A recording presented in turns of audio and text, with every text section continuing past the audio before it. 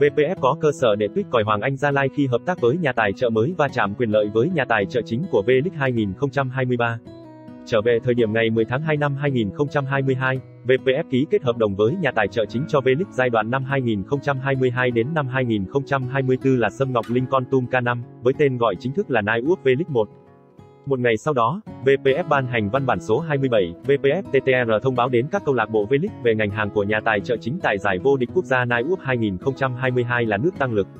VPF đề nghị các câu lạc bộ không hợp tác khai thác tài trợ với ngành hàng cạnh tranh với nhà tài trợ chính kể từ ngày 11 tháng 2 năm 2022. Ngày 26 tháng 12 năm 2022, VPF tổ chức hội thảo công tác chuẩn bị tổ chức và lễ bốc thăm, xếp lịch thi đấu giải bóng đá vô địch quốc gia Nai Úp 2023. Tên gọi, logo giải vô địch quốc gia Nai Úp 2023 được sử dụng trong toàn bộ chương trình. Dự thảo điều lệ giải cũng được trình bày tại hội thảo với các nội dung và quy định rõ ràng về việc nhà tài trợ chính được quyền quảng bá độc quyền trong các hoạt động tuyên truyền, họp báo, đặt bảng quảng cáo và hoạt động thương mại khác liên quan đến giải. Các câu lạc bộ không được khai thác tài trợ với các nhãn hàng và ngành hàng cạnh tranh với nhà tài trợ. Như vậy, VPF đã có những thông báo rất rõ ràng, cụ thể với các câu lạc bộ về việc không được phép va chạm quyền lợi với nhà tài trợ chính của giải đấu. Không phải đến khi Hoàng Anh Gia Lai ký hợp tác với một nhãn hàng nước tăng lực mới thì VPF ra văn bản, tuyết còi, để làm khó. Về việc Hoàng Anh Gia Lai có nhà tài trợ cũ cũng là một loại nước tăng lực nhưng không vi phạm điều lệ giải là bởi VPF công bố ngành hàng độc quyền tại giải vô địch quốc gia 2022 sau thời điểm hợp tác giữa câu lạc bộ Hoàng Anh Gia Lai với đối tác này.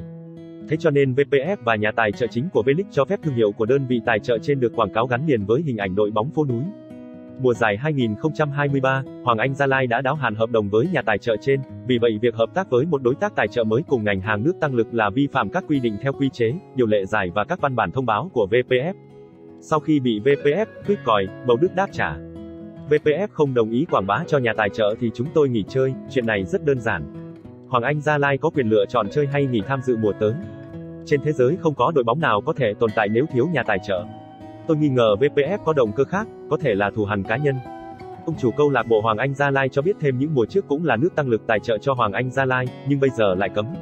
VPF làm như thế là không đàng hoàng, thời buổi này kiếm nhà tài trợ làm gì dễ dàng, chưa nói việc ký kết hợp tác thương mại toàn diện chứ không phải riêng bóng đá. Hơn 20 năm làm bóng đá tôi thấy cấm đoán này quá vô lý, chưa nói nếu như không tham dự V-League chúng tôi phải đền bù hợp đồng chứ đâu phải chuyện chơi.